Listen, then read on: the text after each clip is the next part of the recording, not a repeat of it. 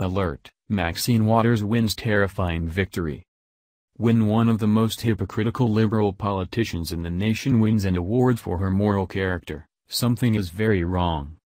According to TV One, Representative Maxine Waters, DCA, was the recipient of the Woman of the Year award from the Congressional Black Caucus.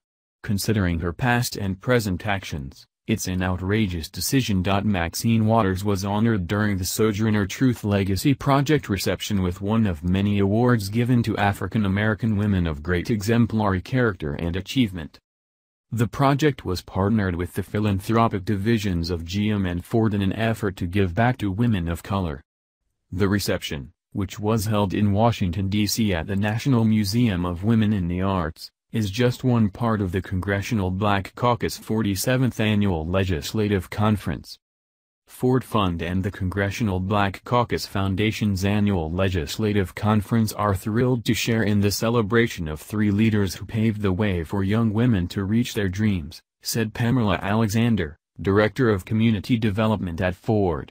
She was referring to three individuals who were being honored at the event, with Maxine Waters being one of them. Congresswoman Maxine Waters, Democrat of California and ranking member of the Financial Services Committee, will be presented with the Woman of the Year award by her Congressional Black Caucus Foundation colleagues, said the official Ford press release. The significance of this award as well as Waters being chosen as its recipient is mitigated when one takes a moment to look into the Black Congressional Caucus's previous controversies. Aside from endorsing Hillary Clinton in the 2016 general election, the group was caught spending lavishly on luxury resorts, restaurants, hotels, and other venues rather than contributing that money to the political campaigns they promised to help.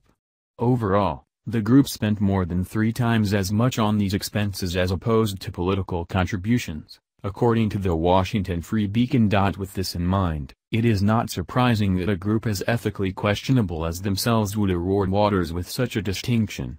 The California representative has made her opinions on the current president well known to the public, often calling for his impeachment for a variety of things, including, most recently, Trump's comments related to NFL players kneeling at the national anthem.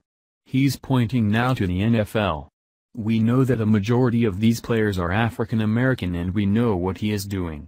We're not tricked or fooled by him in any shape, form or fashion, she said on MSNBC recently. He should not be the President of the United States of America and we gotta get ready for impeachment.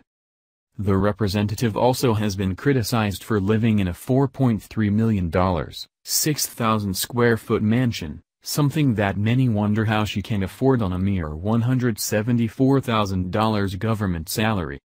This recognition, bestowed on Waters, might be more alarming from any other group, but knowing that it was from the Black Congressional Caucus, means it's a distinction of little genuine importance and more because of agenda-driven politics.